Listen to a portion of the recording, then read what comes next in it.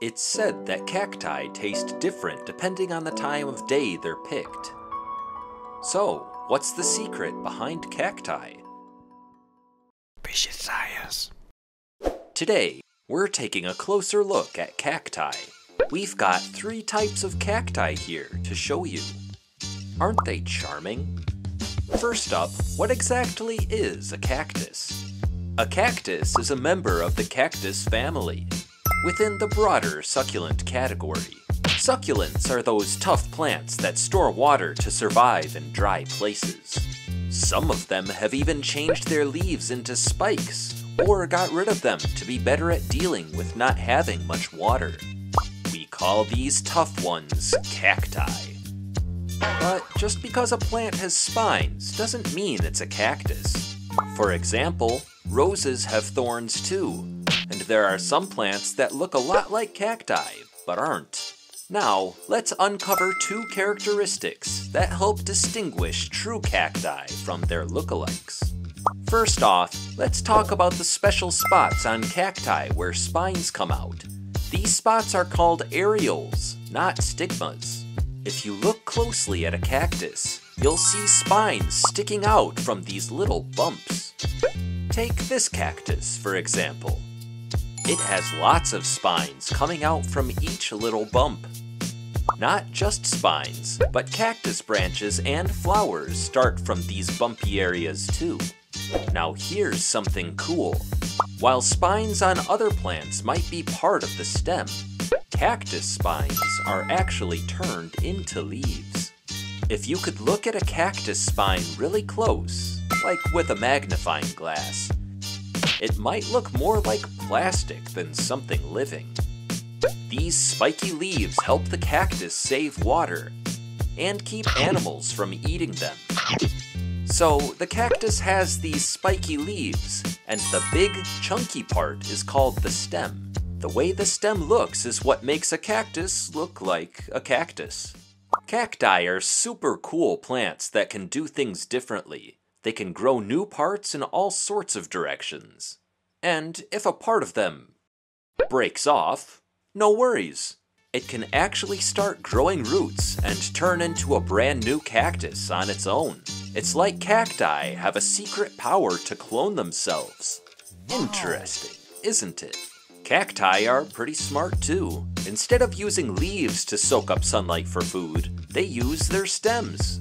Since their leaves have turned into those sharp spikes, the stem does all the work. Ever curious about what the roots of a cactus look like?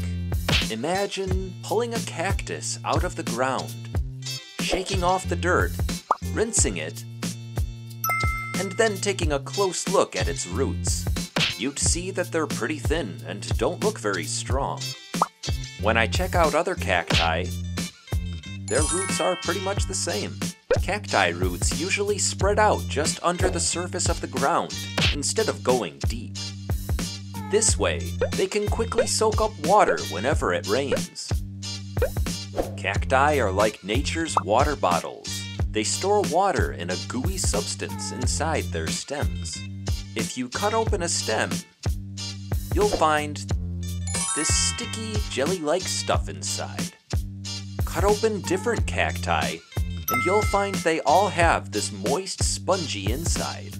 And there's this one cactus that, when you cut into it, looks like a star on the inside. This star-shaped part in the middle is called the pith.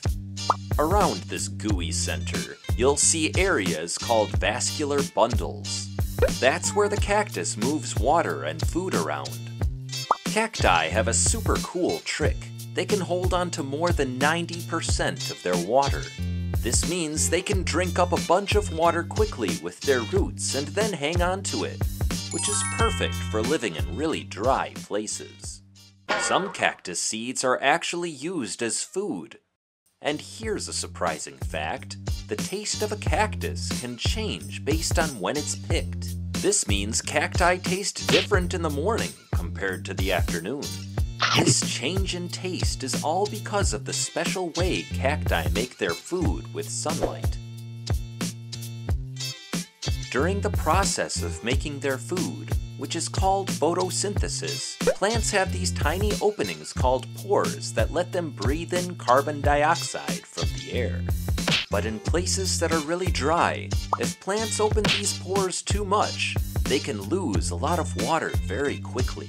That would be like us sweating a lot on a hot day and not drinking enough water to stay hydrated. Cacti have figured out a clever trick to avoid losing too much water.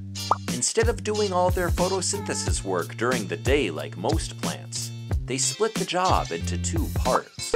They do one part at night and the other during the day. Here's the cool part. At night, when it's cooler and they won't lose as much water, cacti open their pores wide to grab a bunch of carbon dioxide from the air. They turn this carbon dioxide into a substance called malic acid and store it inside them until morning.